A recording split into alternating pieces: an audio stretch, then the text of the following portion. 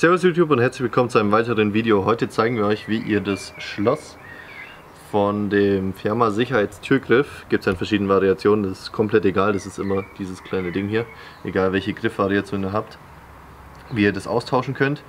Ähm, dazu habt ihr natürlich das alte Teil, was in der Regel ja so geliefert wird.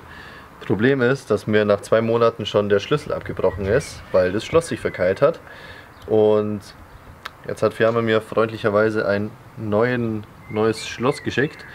Ich dachte eigentlich, dass das so geschickt wird, dass halt das komplette Ding hier, aber die haben mir nur wirklich das Schloss an sich mit den neuen Schlüsseln geschickt. Ich zeige euch erstmal, wie das abgeht, wenn ihr das schon montiert habt. Dazu müsst ihr erstmal diese drei Schrauben hier aufmachen. Das ist ein 10er Schlüssel und auf der Gegenseite ist ja der hier so dran.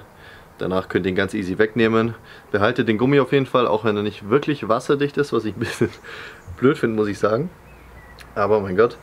Ähm, und dann habt ihr das so in der Hand. Und jetzt seht ihr schon, hier, diesen kleinen Stößel hier, das ist der gleiche Stößel wie da. Das heißt, den müssen wir rausbekommen. Das bedeutet, ihr habt hier eine große Schraube, das ist auch wieder ein 10er Schlüssel, die müsst ihr jetzt erstmal aufbekommen, dass dieses Teil mit dem Schloss drinnen sich vom Gestell trennt.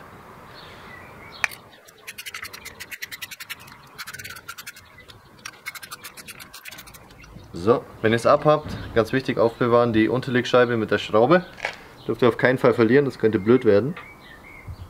Und jetzt könnt ihr das einfach abziehen und seht, da habt ihr schon das Schloss, da ist der Stößel wieder.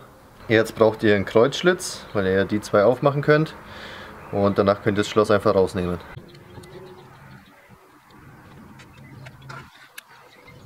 Wie immer aufpassen, dass die Schrauben nicht durchdrehen. Und jetzt haben wir die beiden Schrauben gelöst. Und jetzt könnt ihr einfach auf der Seite einmal da, ja, ich habe es jetzt gerade schon gemacht, deswegen einfach da reindrücken und dann plumpst ihr euch raus und habt das alte Schloss in der Hand. Und jetzt das Ganze wieder zusammenbauen, das heißt, jetzt haben wir das neue Schloss das kommt jetzt so rein. Ist komplett egal wie rum. Macht es halt so, wie es davor auch war. Ja, jetzt können wir den wieder draufsetzen. Da habt ihr hier diese Öse und das muss dann genauso rein. Dann ist es wieder zusammen. Jetzt habe ich gerade noch vergessen, so ein Teil fliegt euch entgegen von dem großen Loch. Das muss auf jeden Fall wieder rein und zwar ist hier so ein kleines Geringel. Das muss nach unten.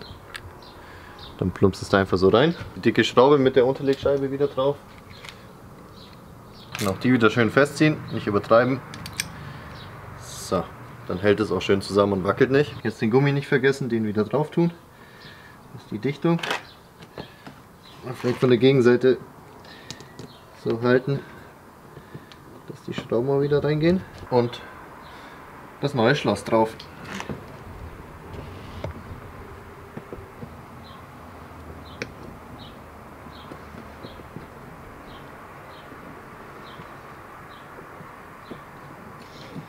Bisschen eindrehen und immer etappenweise festschrauben.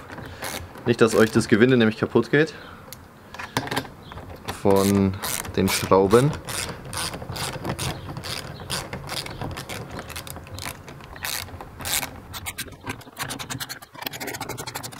und wieder richtig schön festziehen, dass der Gummi auch schön an die Wand gepresst wird, damit es hoffentlich wasserdicht ist. Das neue Schloss ist eingebaut, wir hoffen, wir konnten euch damit ein bisschen weiterhelfen. Abonniert gerne den Kanal, wenn ihr weitere Tipps und Tricks von Nicht-Profis haben wollt.